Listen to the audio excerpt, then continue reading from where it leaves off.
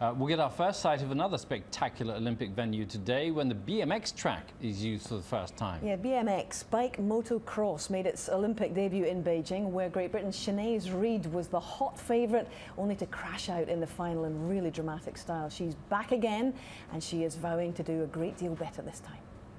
Okay, we wrote this for a purpose to motivate you at this time.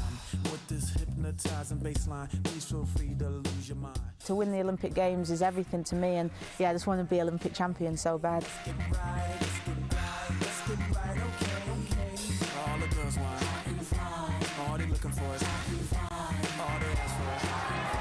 Let's get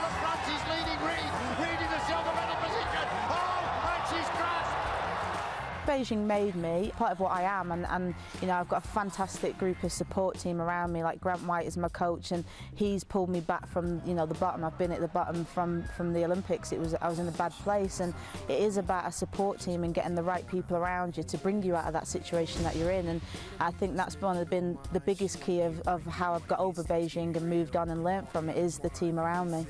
Stadium music, 50 thou, jump Beijing was a stop off along the way to the Olympics in London and then now it's kind of like right London's here. It just feels it just feels right to me. I mean some other athletes might be feeling the pressure but I'm just really excited to, to go there and represent my country.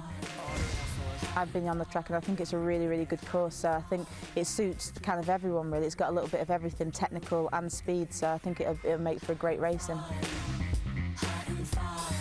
You've got to be so relaxed and so calm on that start gate because if you're not, that's when things go wrong. So it's kind of in your mind, you've got to be kind of, you know, wanting to go, running to, to get out there in front, but at the same time being as calm as you possibly can, which, yeah, it can be hard at times, especially, you know, when it's in that final and everybody's lined up and seven other girls are on the gate wanting to do exactly the same thing as you. You just got to learn to control your mind, really.